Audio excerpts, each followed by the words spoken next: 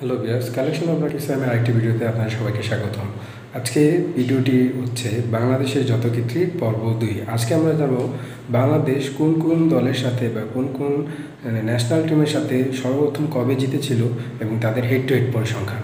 তবে চলুন শুরু করা যাক।